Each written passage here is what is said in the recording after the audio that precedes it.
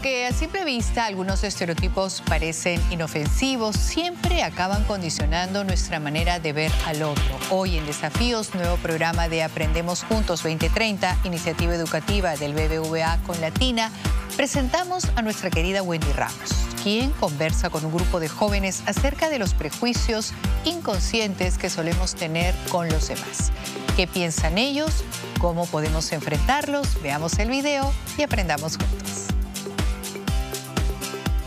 Yo soy una cobarde, de verdad. Dentro soy muy cobarde, me da mucho miedo muchas cosas. Quizás porque soy, tengo mucha imaginación y la imaginación me lleva a crear muchos casos eh, catastróficos, ¿no? Todo puede salir mal, absolutamente todo. O sea, eh, y eso saberlo. Siempre las cosas pueden salir mal, pueden salir como no te esperas, pero lo importante cuando tienes un miedo es tener un plan un pequeño plan. Es importante que identifiquemos si verdaderamente somos miedosos de verdad. Porque del término miedoso viene el otro punto que es valiente. Yo soy una cobarde miedosa valiente. ¿Y por qué? Porque al final me conozco y sé que si no me tiro a la piscina no va a pasar. Siempre a los miedosos nos relaja tener un plan de acción, un plan B. Y lo que nos pasa cuando nos pasa aquello que tememos, ¿sabes cuál es? Que dices, pues no era tan malo y lo mejor es, wow, me siento más fuerte.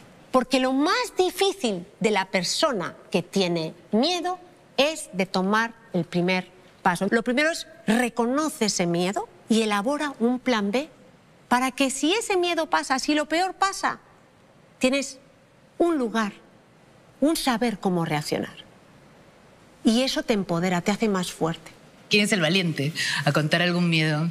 Yo creo que es muy valiente el hecho de admitir que tenemos miedo. Se asocia que cuando alguien se muestra vulnerable con otras personas, como que es menos una vez que te mostrás y, y decidís decir y contar que tenés miedo, que sos vulnerable, que sos cobarde, como decía ella. Eh, ahí es cuando te empiezas a fortalecer. Mucha, mucha gente tiene miedo como de decepcionar las expectativas que tienen los demás de ti.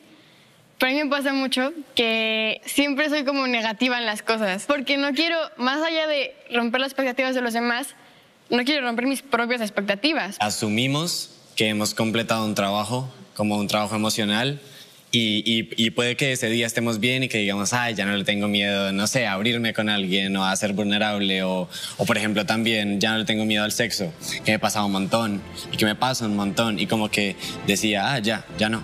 Pero, pero luego viene, la, viene el momento y como que no lo tiene que enfrentar y otra vez uno decía, no sé, uno... Tenemos miedo de, de, lo que no conocemos, nos asustan las personas que viven de una manera completamente distinta la nuestra. Probablemente el juicio siga apareciendo, ¿no? El prejuicio va a venir pum, porque estamos muy acostumbrados a hacerlo, pero creo que hay que frenar darte cuenta de lo que está pasando y dar ese salto por encima, ¿no? Verlo, darte cuenta, oye, estoy emitiendo un juicio sobre algo que no conozco, ¿no?